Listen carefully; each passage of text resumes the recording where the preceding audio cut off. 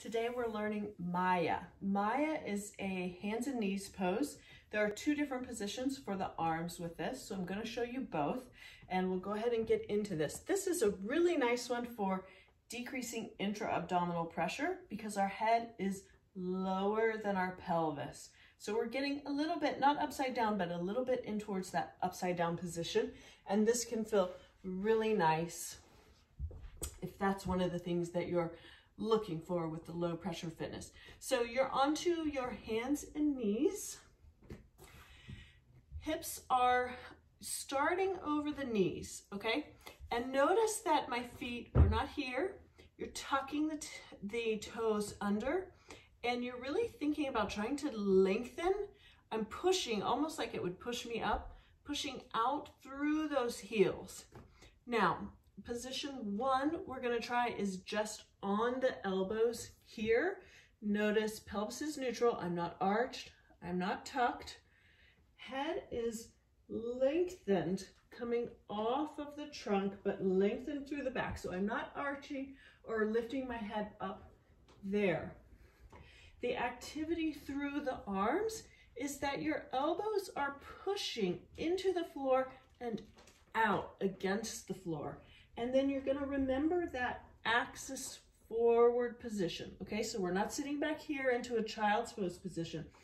Axis forward just a little bit, active through the heels, toes are tucked, active through the elbows, head is lengthened, and in this position, we go through our breathing. Breathing in for one, two, three, four, and exhale. Exhalation is when you're checking in with all those postural components. Did you forget any piece? Mine is the head here. And then breathing in again, two, three, four. Exhale, two, three, four, five. Last breath in, two, three, four. Exhale, every thing is lengthening as you get ready to prepare the apnea.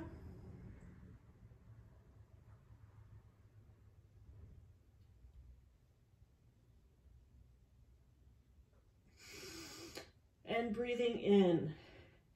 This is a very challenging pose and you can see if you spend several cycles there, that would be a really good workout for your upper body. Next position is lower down. So if you have a problem with your shoulders, this one might not feel comfortable, just don't do it. If it doesn't feel good, if it's challenging, that's fine. You're creating a triangle with your elbows and also your hands.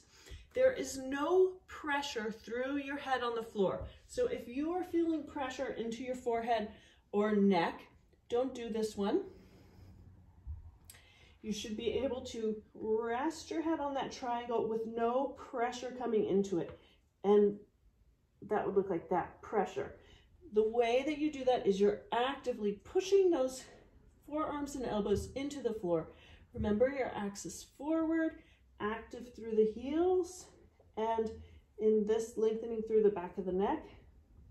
And then we do our breathing here. Breathing in, two, three, four, Exhale, two, three, four, five.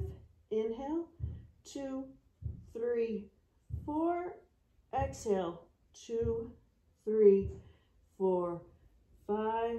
Inhale, two, three, four.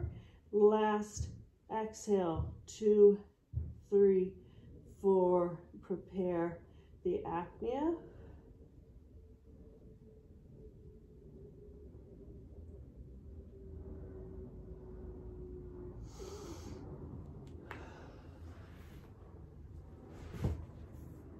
Very good.